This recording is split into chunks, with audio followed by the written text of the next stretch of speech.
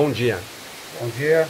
É um prazer estar recebendo vocês aqui no dia de hoje, aqui, para mostrar as belezas naturais aqui do município de Riachão. E é, nesse exato momento vocês estão contemplando, é o Poço Encanto Azul. Tá? Esse poço aqui foi descoberto mais ou menos há uns 18 anos atrás por um vaqueiro da região, que o mesmo tomava conta da manada e procurando um animal desviado do rebanho descobriu esse, esse paraíso aqui. Esse é um lugar que ainda se encontra preservado. Esse dá-se o nome Poço Encanto Azul devido a essa tonalidade da cor da água que aqui tem uma concentração muito grande de calcário, dolomita, bauxita.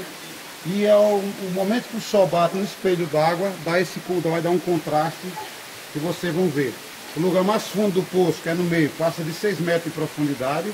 Né? No início aqui é rasinho, chega aí a um metro e meio, no final também. E é uma nascente permanente. O ano inteiro essa água não muda de cor, porque como é nascente, e essa água aqui ela vai se encontrando para cair no rio Cocal. Então é um lugar lindo, preservado, que vale a pena você e a família vir conhecer, porque isso aqui você só encontra aqui no Maranhão, no sul do estado do Maranhão. Tá? Venham desfrutar de momentos como esse que vale muito a pena. Ok? Ok, muito obrigado amigo. Imagens Brasil Sul agradece.